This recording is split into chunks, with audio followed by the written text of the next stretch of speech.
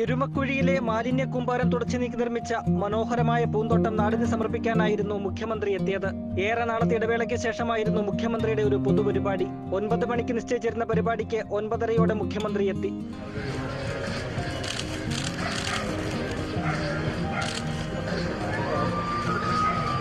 മാലിന്യം പേറിയിരുന്ന ഭൂമിയിൽ കണ്ണഞ്ചിപ്പിക്കുന്ന വിധത്തിൽ ഒരുങ്ങി നിൽക്കുന്ന സന്മതി ഉദ്യാനം കണ്ടപ്പോൾ മുഖ്യമന്ത്രിക്ക് മേറെ സന്തോഷം.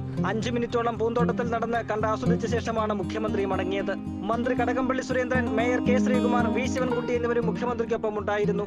നിലവിലെ രാഷ്ട്രീയ കണ്ട പശ്ചാത്തലത്തിൽ സിറ്റി പോലീസ് കമ്മീഷണറുടെ നേതൃത്വത്തിൽ കനത്ത സുരക്ഷയാണ് പരിപാടിക്ക് ഒരുക്കിയിരുന്നത്. സെപ്റ്റംബർ ഇരുപത്തിയൊന്നിന് ശ്രീനാരായണ ഗുരുവിന്റെ പ്രതിമാനാച്ഛാദന ചടങ്ങായിരുന്നു മുഖ്യമന്ത്രി ഏറ്റവും ഒടുവിൽ പങ്കെടുത്ത പരിപാടി. റിപ്പോർട്ടർ തിരുവനന്തപുരം.